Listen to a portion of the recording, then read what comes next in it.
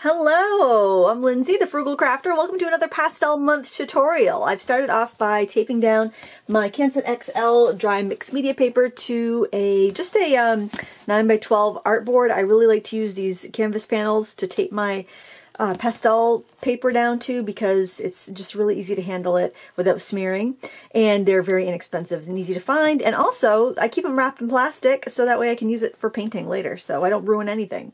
This paper is very affordable. I'll be using it for my pastel month tutorials and I get mine on Blick because the price is the best so um, you can also look in like local shops to see if they have it too. I paid about $5 for that 40 sheet 9 by 12 pad and I want to keep supplies as simple as possible and I figured using the same paper for all these would be good. So the painting that we're going to do today is actually a still life and there is a pitcher, pears, and another little um, vessel on a like a teal bench and the background is black. You could work on black paper if you had it, um, but I want to use this, like I mentioned, to keep things um, pretty uniform. Um, and I want to do a two-tone background. So I'm putting some tape down at an angle. I'm going to do above the angle black and then I'll remove the tape and do the bottom um, teal. Actually, what? I'm going to do the teal first because I, the way that I have it taped off, it's going to work better. I'm going to use pan pastels for the background, but you could also just scribble your pastel. If you don't have pan pastels, what you can do is just take a pastel stick and go on the side like that. Um, but if you have pan pastels, this is a really fun way to use them. So when you apply pan pastels, you have these little tools. They're called soft tools. And um, I'm seeing if I have a clean one. I don't think I have a real clean one, but you clean them off just by wiping them on a paper towel or scrap paper. And I got some scrap paper down on my table. I'm just going to wipe that off as good as I can. And then you can get little socks that go over it. And if you buy a set of pan pastels, it comes with some. So I'm going to pick up some of this teal color. And I'll just go right over the color I already put and try to spread that out a little bit. But I basically just want to apply some color. Another thing you can use is a sponge. So for a big area like this, actually a sponge is a good idea.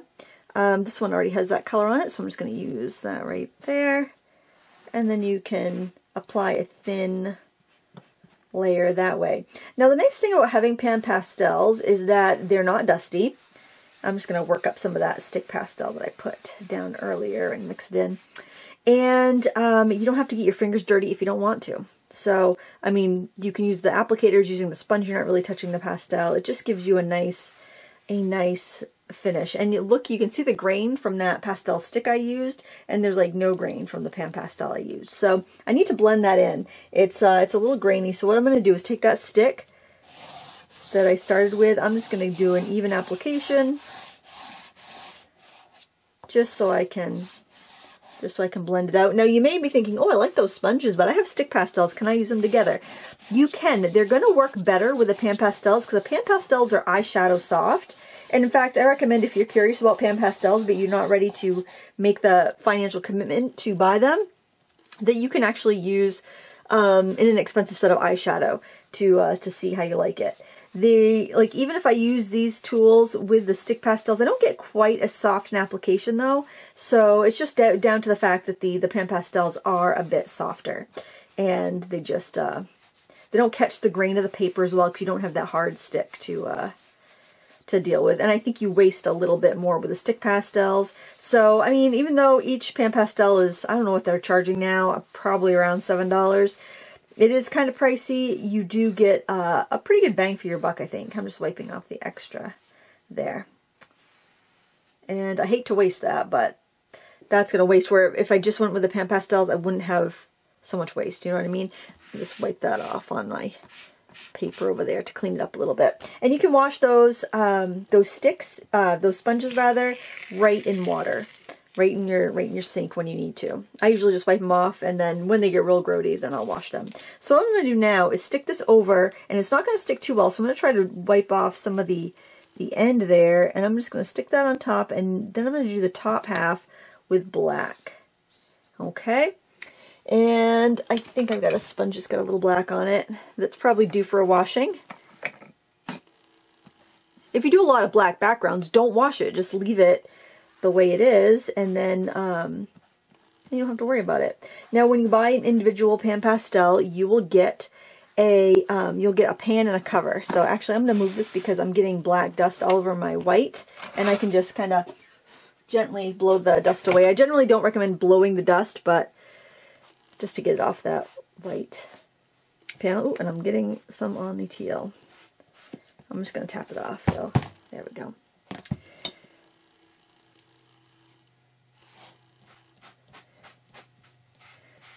There's all kinds of papers you can use and you may find you get better results on some rather than others.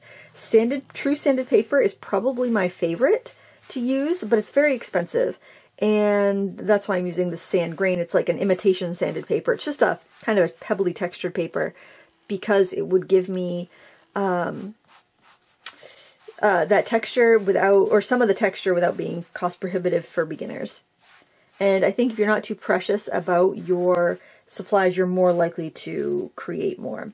Now, if that's not dark enough for you, it is a little bit streaky on this paper. You could use black paper like I mentioned before, or you could even go over it with a pastel stick and see if you can get a little bit more of an intense color.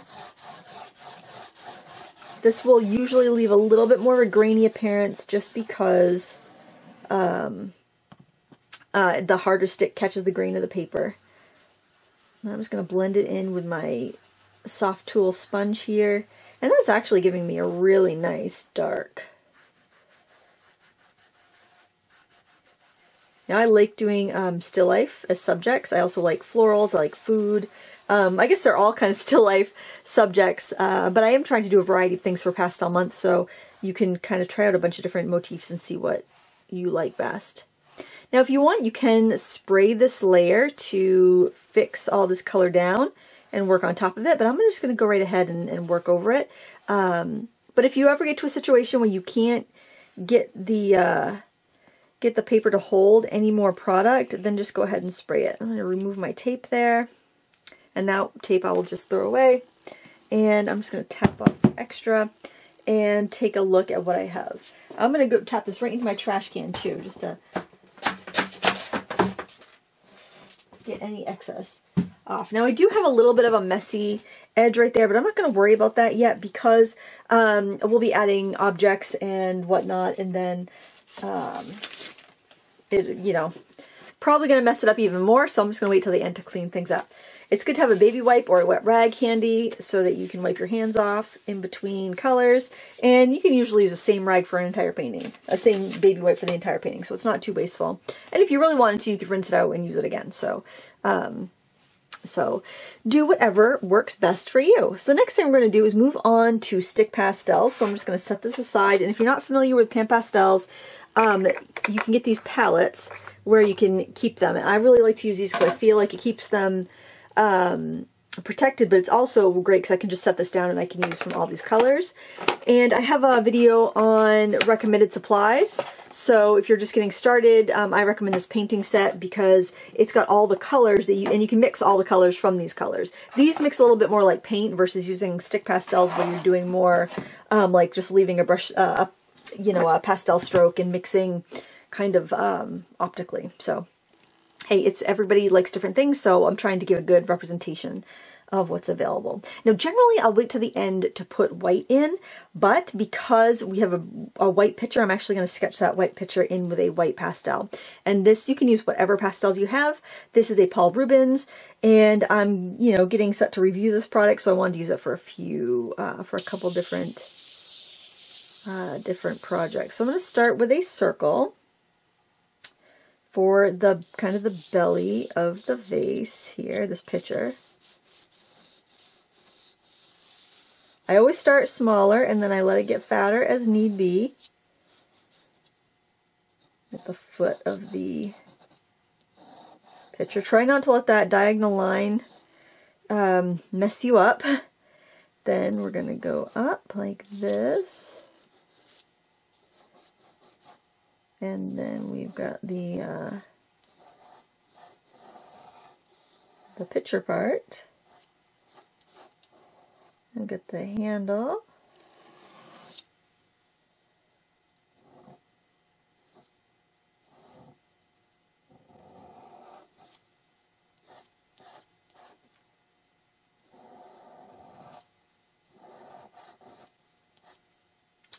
All right, so we have all this pigment inside the vase, and this is a white vase. So what I'm going to do at this point is actually get a kneaded eraser and um, and try to remove some of that. Now, this one, actually, I might need to get a new kneaded eraser. This one's feeling awfully, awfully tired and dried up, but we'll see what we can, what we can accomplish here.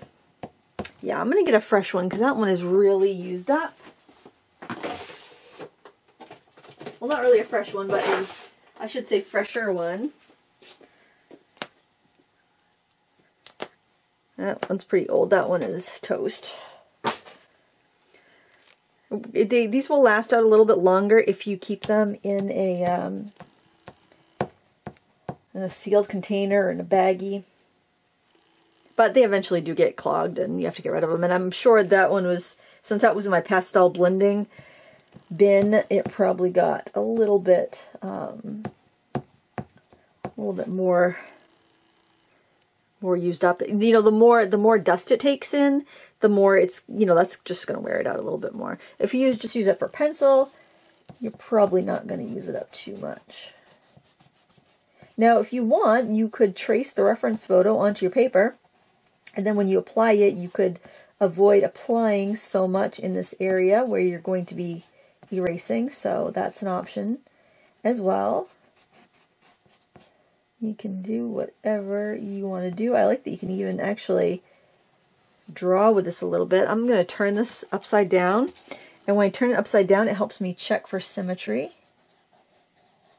The thing I like about this still life, this reference photo, is that um, is that there's a lot of things overlapping, so if something's not perfectly symmetrical, you're not really going to notice it that much. Now to use this, you really just press and lift, but because this is so much pastel to remove, I am kind of cheating a little bit and just kind of wiping there. I think that's going to be all right. And don't worry about messy smudges on the outside of the shape because um, we can go in and touch things up. We can spray things with fixative and go in and touch things up later if we need to. And then just clean this, just stretch it a few times and you'll be good. There, look, nice and clean. Okay, so the next thing I'm going to put in is a couple of pears. I'm going to use this kind of ochre color. And I want to sketch all these elements in so I don't end up putting in more uh, more product than I need to. Actually, I'm going to scoot this over a little bit. I've got one pear here, got another pear here.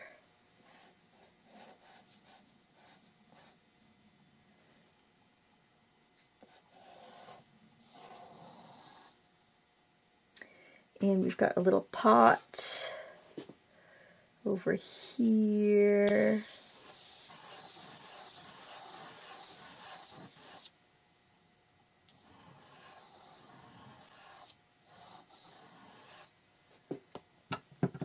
Mm, actually, I don't think I even need to remove the blue in there. I think it'll blend, blend in and be fine. And then we've got a piece of fabric that's kind of draped over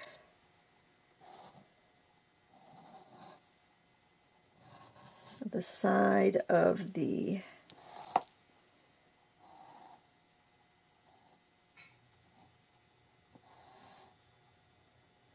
Hmm, the, oh, I think actually, you know what? The uh, the the picture is sitting on the fabric, so.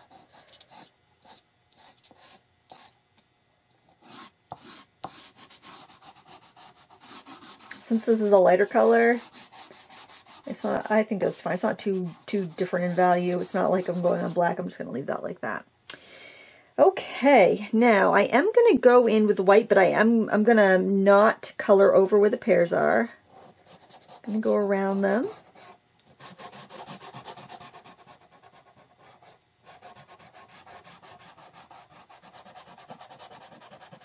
Now this sand grain paper, this is one of those kind of like it's kind of a bit of a jack of all trades paper of dry media, but it's it may not be the best paper that you come across for your style of working. I really like this a lot for oil pastels, and I really like it for colored pencils, and I like it okay for soft pastels. So, um, you know, you may find that you prefer a, a, true sanded paper. You probably will. True sanded paper or a Pastelmat are very fine papers and they're wonderful to work on. They're pricey. Uh, you may prefer a Canson Mi-Teintes paper, which is also a really nice paper. It's not that expensive. It's um, it's more expensive per sheet than this, but definitely a good paper as well. And it has a rough side and a smooth side, so it gives you a little bit of, of versatility there too. Um, and it comes in uh, lots of different colors. I don't know how many are off the top of my head, but probably probably 40 colors. It comes in a lot. Uh, so that's another option. But just keeping it simple for the sake of my uh, YouTube tutorials here, I'm just using this. I'm going to go ahead and blend this with my finger. The reason I'm going to do my finger here instead of an applicator is because I will remove less material if I use my finger. Now I left, I didn't color the white all the way into the center of the pot because I wanted to have a little shading there. I'm like, that'll just make it easier, easier to do that. I will have some kind of almost chiaroscuro shading going on here, some really dramatic shading on this side of the vase, but I'm just going to, I might have to erase back for that, but for right now, I'm just going to try to fill in the tooth here, get a nice solid white.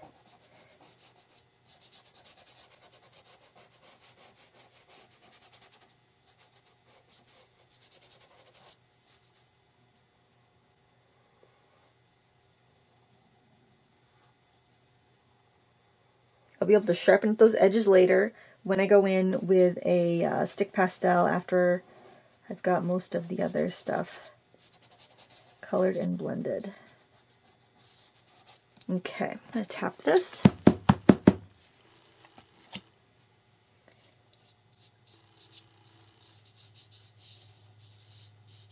Okay. Um, I'm going to go right in with that black because we already have some of the black in there. And I am going to give a little more shadow in here. And don't be scared because the white's really strong, so it's not going to get too dark on us.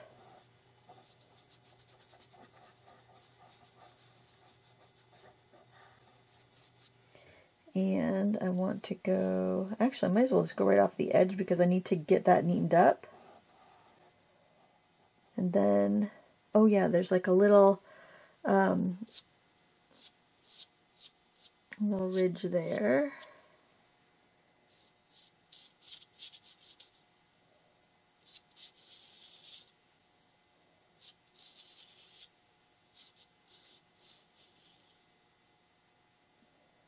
shadow under the this the uh, handle too. Let me get that in there. And I'm going to go ahead and color in this first flat area with the black and then I'll blend that out and we'll have another shadow there. Very subtle one here.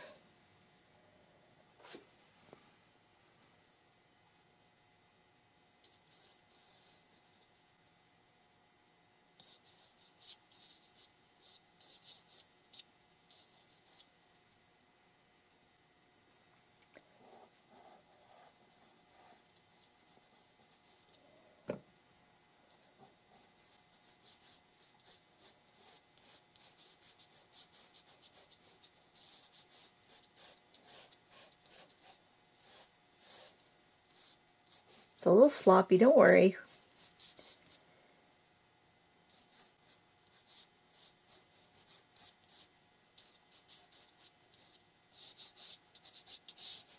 You can always get white to, to go back in and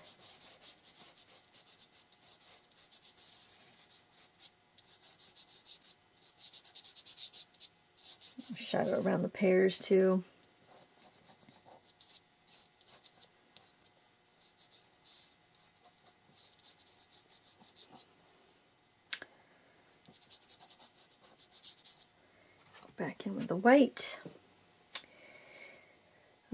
to get the shape here good.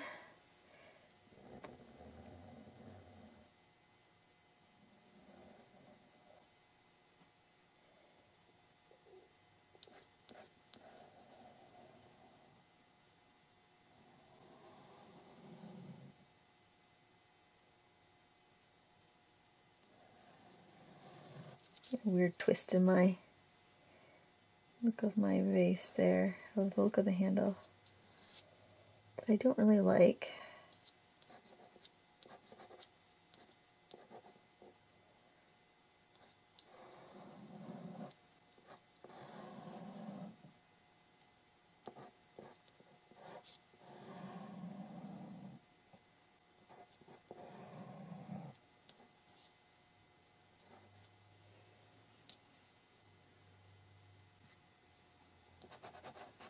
I also haven't decided how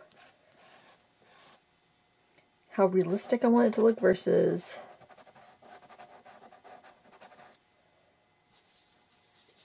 versus impressionistic. So maybe I should kind of stop here at this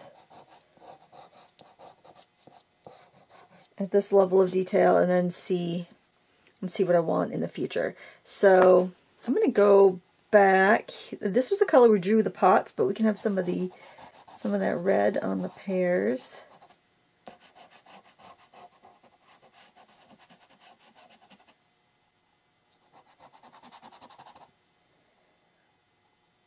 And then this would be kind of the highlight of the pot here. The pot looks like a pomegranate. It's a pomegranate pot.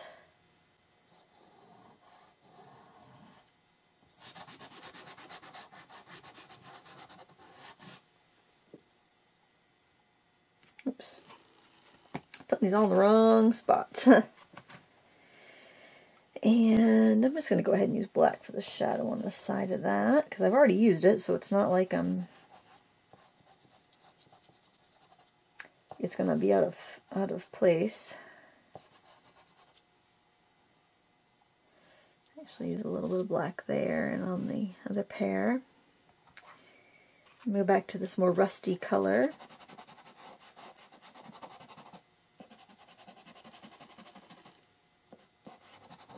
Going to get a little bit of an ochre color in there.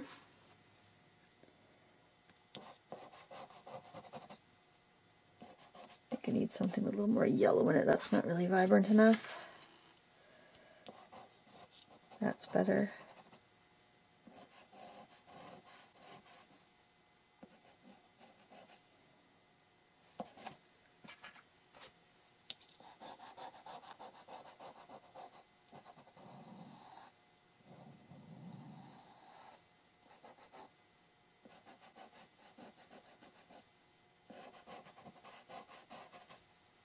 Okay. I have a lot of just loose wayward dust. I'm going to tap that off. And for this scrap paper, I just wipe it down with like whatever rag I was using to clean my fingers throughout the process. I just wipe down the, the paper with it and it just kind of tones it. And then uh, it'll keep it from getting on my, onto my next project, but it also saves me from having to change that paper every day, which would be kind of wasteful. So um, I try to uh, I try to keep things as uh, I like to balance the convenience and um, I guess uh, wastefulness. And this was actually a scrap pad that I had. Uh, somebody had given me a big calendar that I couldn't use. I didn't have room for it, so I'm like, well, this will be good. I'll use the back side of that for um, for protecting my work surface. So it was something I couldn't use. I got use for it.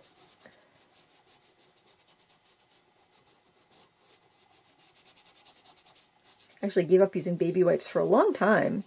Um, so now I only use it if it's something that's really like, well, almost like it would waste more materials cleaning up afterwards, like paper towels and um, water and stuff like that. So that's kind of how I how I gauge whether I'm going to use them or not. All right, I'm um, not really that crazy about the shape of this guy, so actually I'll turn it, I'm going to turn it sideways.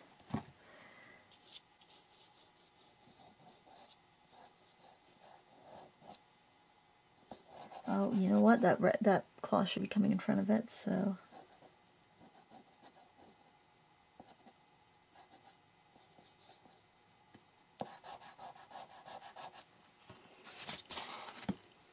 There's also a shadow next to this going off the edge. I'm going to go ahead and put that in because, and then I've got a really pretty bounced reflection on there that I want to show. And while I'm at it, I'm going to go ahead and put, that's a shadow from the picture here. And then you get a shadow, I think, from the rag there. Shadows can be kind of messy to put in, so I'm like, might as well get them in right now. There is some like slats on the table, but I don't. I think I'm going to leave those out because I feel like this is getting kind of um, crowded and complex as it is, so I don't want to add more complexity at this point, especially if I'm not sure if I'm going to keep it. I think I'm going to keep it kind of loose, so it's something I can get done in a relatively short amount of time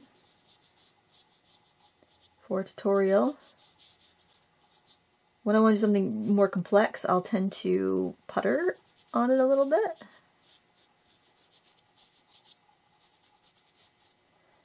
And think about it a little bit more, and not talk through it. if you're in my critique club, you know I go silent sometimes when I'm working on those more complex projects. I drag some of that up here into the shadow. Can drag some of that into the, uh, pick some of it up and bring it into the shadow on the uh, fabric as well.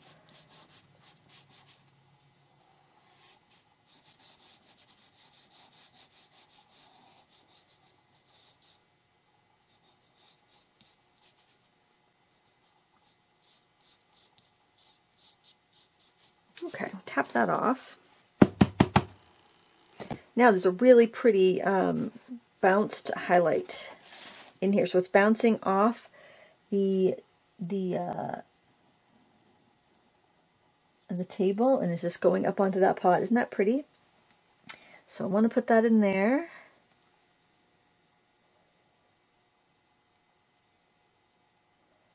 Sketch that out too. Also, if I want to clean up Oh, that's a little bit lighter. Actually, that's not the color I used, is it? Is it? Really?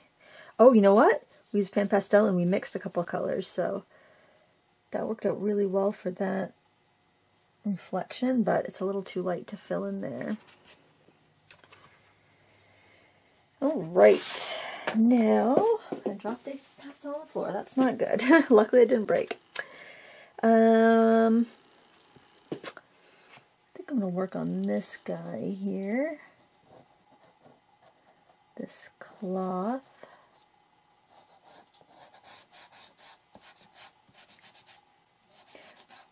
So I keep my pastels for the most part. This These are still in the box because I'm working on a review, but then when I'm done and I'm ready to, if they pass the test, then the pastels will go into my pastel drawers because this is much easier for me to work from. It does take up a lot more space than a set of pastels, but the fact that I can get just the right color that I need makes it so um, I don't have to blend so much. And if you like to have you, like your strokes really visible, um, you want to avoid you want to avoid blending as much as possible and just kind of let those strokes stay there. Kind of use an economy of um, of strokes. But if you don't have that many colors, it's um, it's really hard to do that. But it's not realistic also to start off with, you know, 100 pastels. That's why I recommend the, the Faber-Castell set that's pretty affordable because you get 72 colors and it's 30 bucks or so and a decent quality.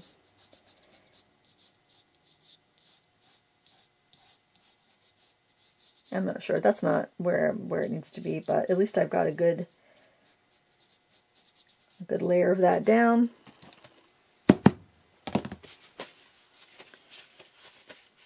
All right, what I think I'm going to do now is start working on this side and work my way over so that way I don't put my hand in anything.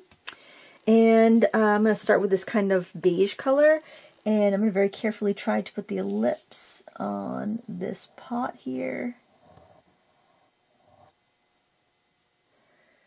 I might see if this pastel pencil will help me out a little bit. Pastel pencils are harder than the, the uh, stick pastels, so it's going to scrape away quite a bit, but I might be able to just kind of like so I can get that shading on the inside. Might be able to like almost sketch it out enough here that I could just go in with a little highlight with a stick pastel afterwards and get it did all right. Now the tough thing is not to rest your hand because I'm tempted to want to rest my hand to study it, but um, you could use an artist bridge or you can just kind of like prop your prop your hand up on your on your um, prop your wrist up on your hand and work that way a bit. And of course, if you get to a point where you, you just can't lay anything down, you can do a little fixative. I would recommend the Krylon Workable Fixative for that because it's quite affordable.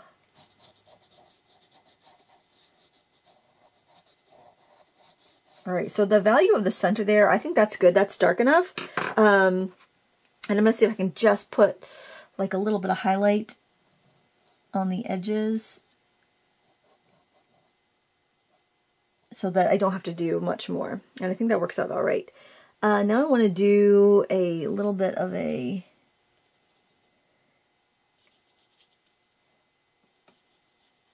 uh, highlight on the jar itself. So I'm going to use a little bit of that color just to knock back the white a bit and then I'll go in with the white and add a more strong highlight there. And I think we'll go back, also go back here and put a little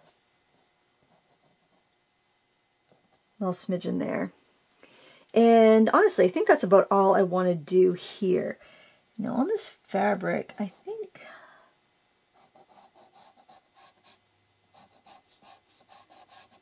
I want to add a little more structure than it has. And I think I could probably do that with the white and then go in and add shadows and not blend it too much.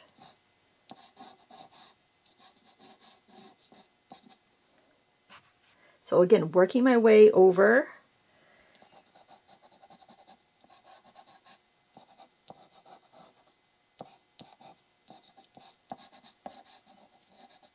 I also want to build some different lines. I've got circles. I got a lot of circles, so I want to get more of a crinkly texture.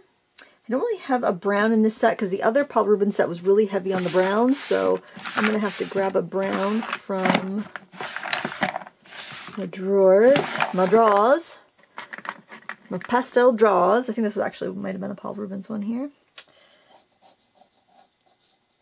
Yeah, I think so. The Paul Rubens feel very much like the Sennelier. So they're a great alternative if the Senneliers are more expensive. And it, it really, on Amazon, it varies. Sometimes, lately, the Senneliers have been a great price, even cheaper per stick than, than Paul Rubens, but I wouldn't count on that lasting, so I would say they're pretty equivalent. Go with go with whatever you like. And I want to get a really dark brown. This one, I think, how heavy it is, I think it's a Renaissance. I only have a few of those. But they were they were heavier, uh, a little bit harder, but still decently pigmented. I've never seen them for sale around here. I uh, distributor sent me some because she was thinking about shopping, uh, carrying it in her shop with the watercolors. They were a little hard for my liking, but I have to say, I mean, they, they are pigmented. They are laying down the pigment.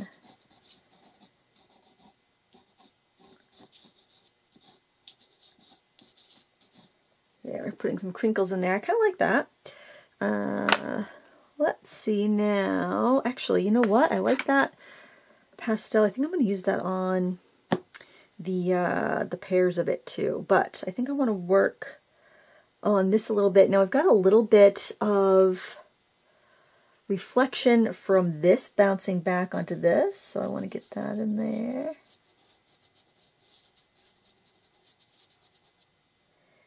and get a little bit. I'm going to go with the gray actually. I've got just a, I just want to hint.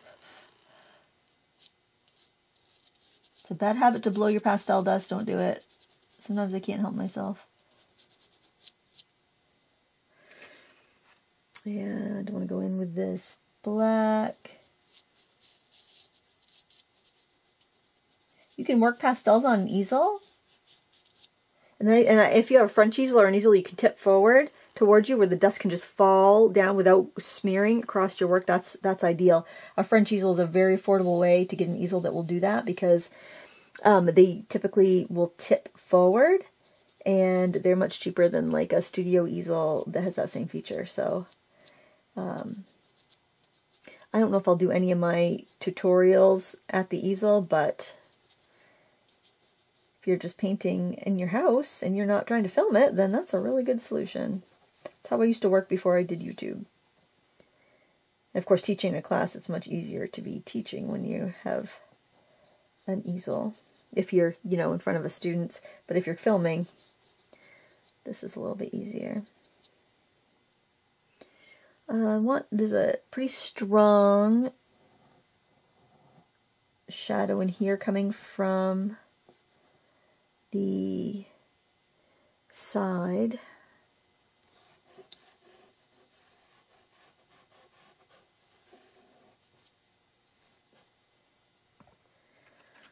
To go in with this gray and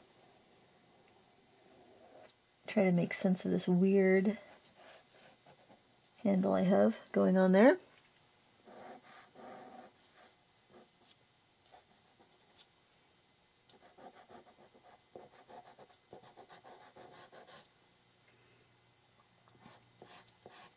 I'm going to blend here with this gray.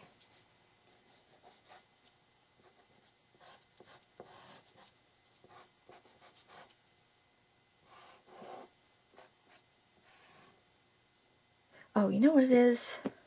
I think it's this up here that's making my thing look twisted.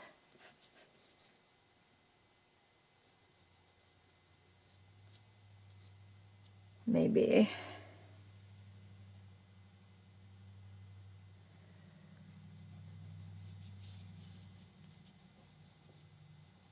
Feels like it should be connecting over there a little bit more. And this should also be a little bit darker in here, I think, because it's really chiaroscuro, kind of like fading, the shadows fade into black. That's what that means. It's a technique you'd see in a lot of, um, uh, a lot of um, Baroque art, some Renaissance art. You'd see this just strong, strong shadow. Rembrandt was a master of chiaroscuro, Caravaggio. Beautiful technique, beautiful realistic technique is super dramatic.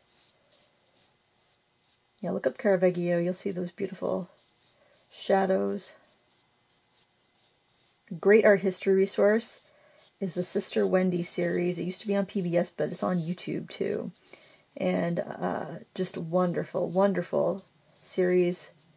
Sister Wendy was uh, so witty and uh, charming. Just a beautiful, beautiful series.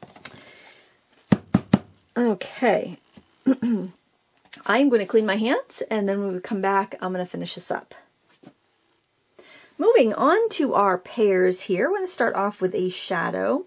Um, I am going to go in with kind of a dark rust color. This is one of the Paul Rubens from the um, the portrait set that came out a few months ago. So they came out with a set that was mostly neutrals, and it was beautiful, but not as versatile as the assorted set. So I'd recommend the assorted set if you were considering these. Uh, but again, also double check what Sennelier has on offer on Amazon because they've had some really great sales and um, the, the prices have been the same for the 40 set. So I just wanted to mention that because although I think the quality is almost identical, I think that with um, that with Sennelier, because you can just, you know, if you use up a color, you can buy that stick. And the fact that they've got um, well, they probably have pigment information for these, I think, online. I'll have to double check. But just the fact they've been around longer and you can get like open stock and uh, you can find them from most online art supply retailers pretty easily. I would give them a little bit of an edge, but um, as far as how they feel to, to work with, they're very, very similar. Well, I like this color. It's kind of like a pretty uh, pretty coral color. Oh, if you hear any noises, my son just showed up. He still has some stuff at home to move into his apartment. So, for those of you following the saga, my empty nest saga, on my channel, uh, you're probably like, what is this lady talking about her kids for? you get it all here, friends. It's a box of chocolates. uh, let's see. I think I'm going to use my finger, just kind of tap down the dust. I do that sometimes just so I don't waste it and I can get that, that saturation. Now, of course, the different papers are going to accept pastel a little differently. You may have filled the tooth long ago. You may not even be close to filling the tooth. So just kind of use that as a guide. I don't mind seeing little bits of the blue speckle through just because it's um it's uh, opposite of orange and I think it gives it a nice vibrancy and I think it's kind of it's kind of nice looking. Um, I want a yellow ochre that's a little bit more like um, a little bit more vibrant. So I'm going with this one. This I think feels like a Schmincke. I also want to put a little bit of that up there, I think. And I can hear I can hear Jack playing with the dog.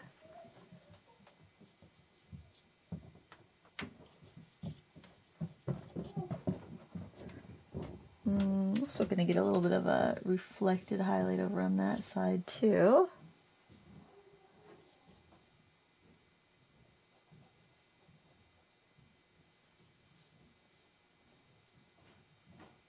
I'll probably need to blend this in a little bit. I might even do a little bit of this, um, this I think this is the Paul Rubens here. I'm going to blend this one use this one to blend out the brighter yellow ochre, which actually seemed a little bit too light when I was putting it in there.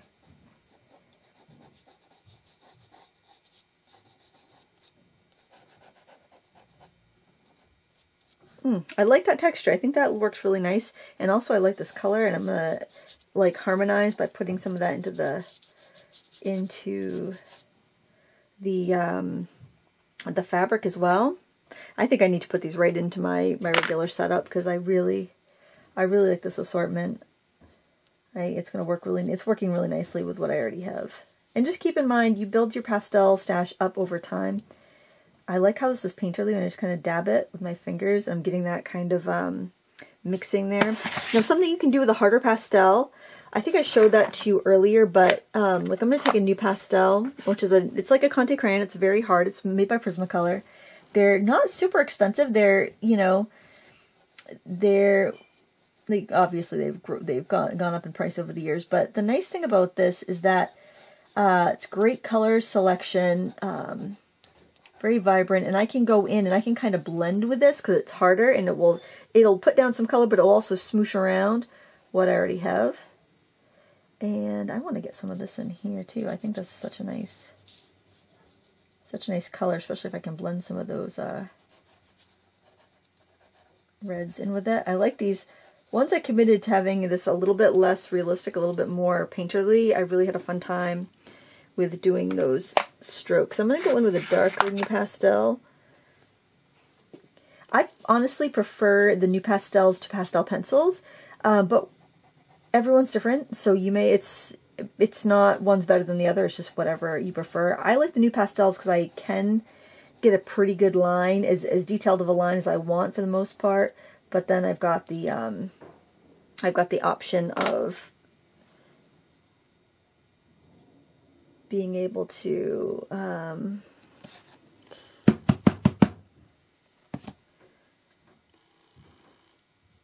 I've got the option of being able to lay down a fair amount as well.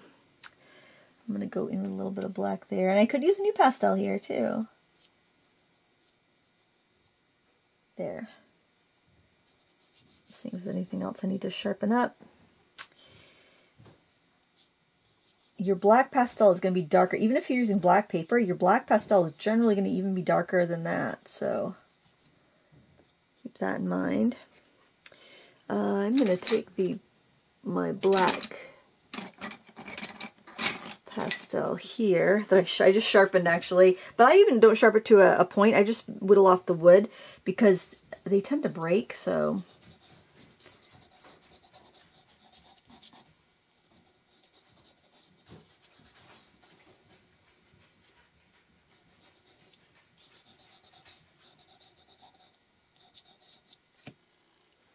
I'm going to use a, a black Conte. You can also use a dark brown.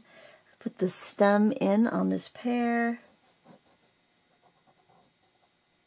And also the one over here on this pear. And then just kind of, uh,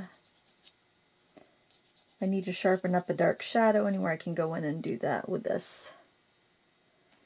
And use one of these little foam applicators to smooth the line if I need to.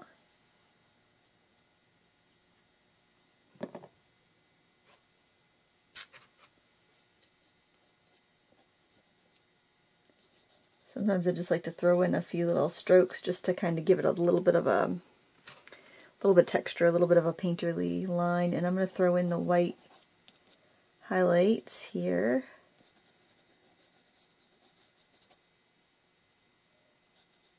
A little bit of a reflected highlight there from the vase.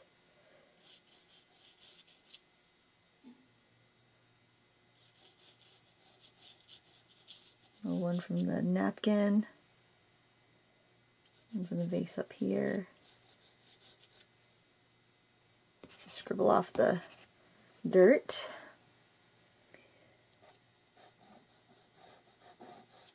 Add some highlights to this.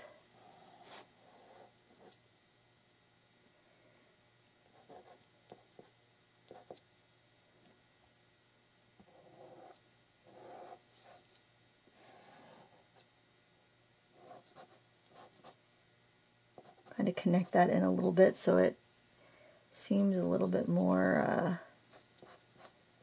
straight on.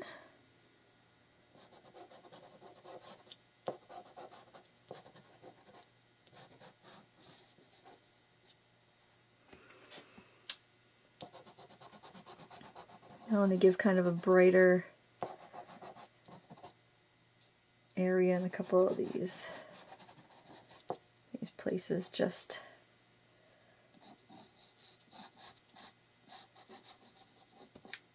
for a little texture should be bright right here on the cloth.